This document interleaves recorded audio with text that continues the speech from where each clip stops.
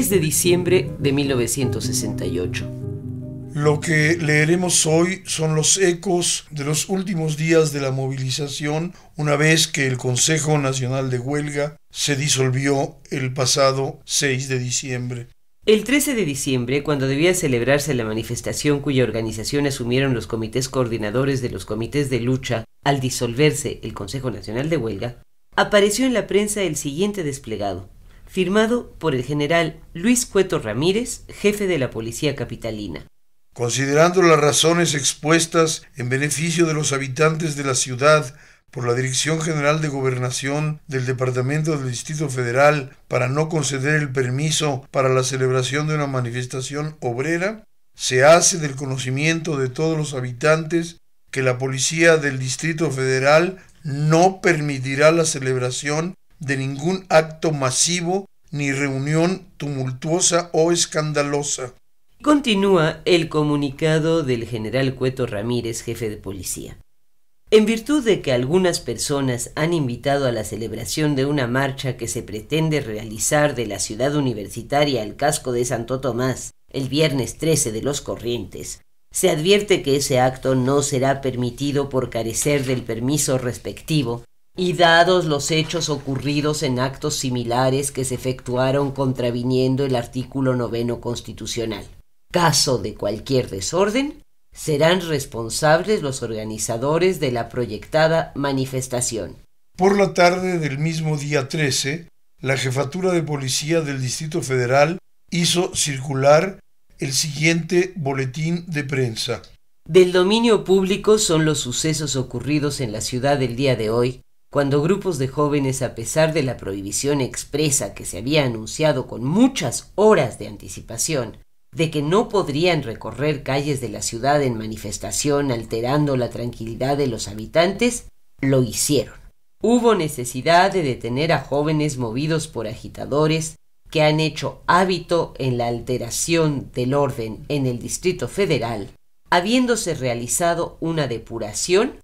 para conocer quiénes ameritan ser consignados a la autoridad penal como responsables de delitos previstos en la ley y quienes únicamente se hicieron acreedores a sanciones administrativas. La jefatura de policía por última vez declara para conocimiento de los jóvenes, de los alteradores y principalmente para los padres o tutores de los mismos, que a pesar de que la gran mayoría cometieron el delito de robo de uso al apoderarse sin derecho de autobuses del servicio público agravado por pandillerismo, que aumenta la pena al primer delito hasta con tres años más de prisión, lo que haría el término aritmético de la sentencia a los consignados por ambos artículos en dos años, que, como otra nueva demostración de magnanimidad, no serán consignados penalmente para no dejar en sus vidas esa lacra que resultaría definitiva,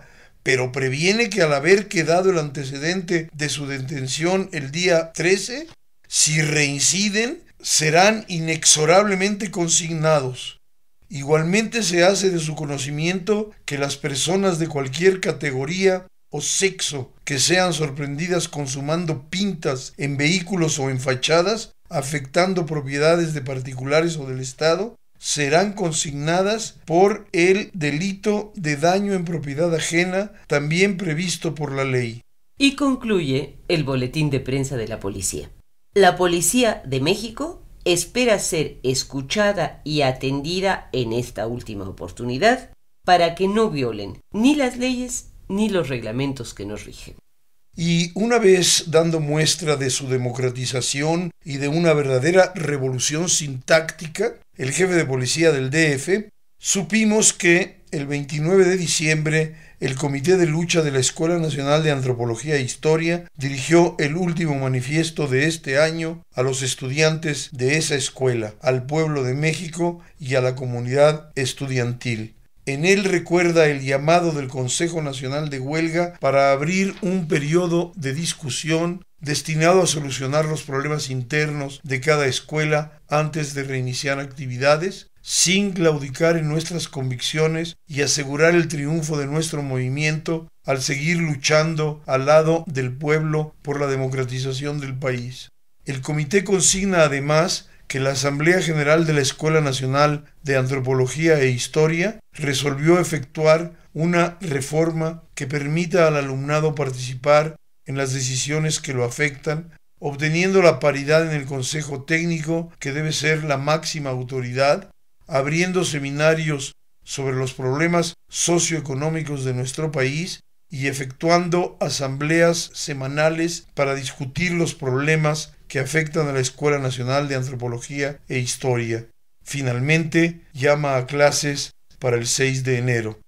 El 10 de enero de 1969, el Comité de Lucha de la Escuela Normal Superior comunicó a la opinión pública que, consciente de su responsabilidad ante el movimiento popular estudiantil, decidió seguir la lucha por las libertades democráticas, exigir la libertad de todos los presos políticos, luchar decisivamente por la escarcelación del ciudadano profesor Luis González Sánchez y presentar exámenes del 20 al 31 de enero. En esta forma se disolvía por completo el movimiento que había sido activo durante cuatro meses en 1968.